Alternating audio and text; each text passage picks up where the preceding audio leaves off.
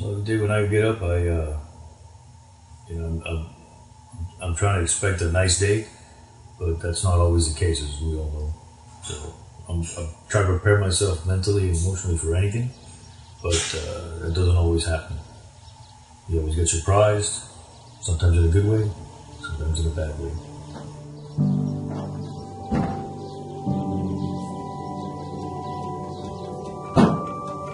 You never know what the day's got in plan for you, so you've got to be ready for everything.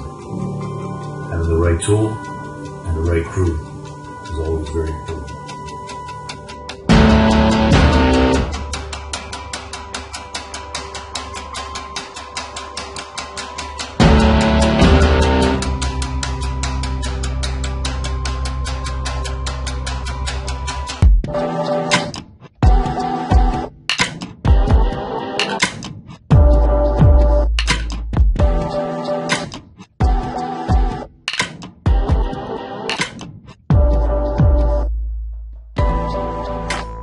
Name is Louis Santana. I'm a lieutenant with Miami Dade Fire Rescue, paramedic, and uh, rescue diver. So Miami's full of water. There's uh, canals, lakes, and we've had some actually some, some vehicles go into the ocean. I'd say most of our dive calls are cars that drive into a canal off the highway or off the road. They end up in a canal. A lot of times they're upside down. My biggest concern is not so much alligators or sharks in the ocean. I get a call, the most concerning thing to me would be an, a self entanglement or entanglement of my crew. A lot of the dive hazards that we have are entanglements. We have capsized vessels with people still stuck in them where fishing lines and cast nets and dock lines are still hanging from the boat where I personally have had entanglements where I've had to cut some fishing line off of me because I get tangled in my gear.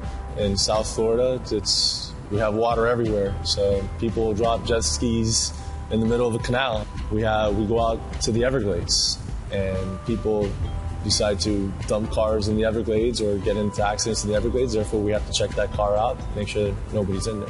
I've been diving since 1989. My instructor always said, "Don't ever go in the water without a tool," and I've always remembered that. Then, funny thing, in 1996, I started being a diver with the department here, and the guy that was in charge of the dive told me the same thing. So it, it, the guys that know know. There's a lot of hazards, limited visibility, getting lost during a search. Some of these cars go in submerged and all the windows are up. So let's say the person's knocked out unconscious, they're seat belted in. We have to cut through those seatbelts. It gets dark under there. Not all our cars are bright daylight and uh, or crystal clear blue waters. It's always dark and murky. I believe it's essential to have the appropriate tool for the job because it could make the difference whether you come up from a dive or not. Dependability and quality of a tool is essential. Even if we have the right tool for the job, but it fails, essentially we didn't have the tool. Offshore, it gets pretty rough. And we had an actual uh, incident where the, the line we had for the divers got tangled with the prop, and if it wasn't for having a tool, we would have a, a big issue. Because the boat was bobbing up and down, and uh, that's a very dangerous situation because when you're trying to remove that line or cut it, it will come down and hit you in the head. In our line of work, saving lives is all about time. And having the right tool for the job could mean the difference between life and death.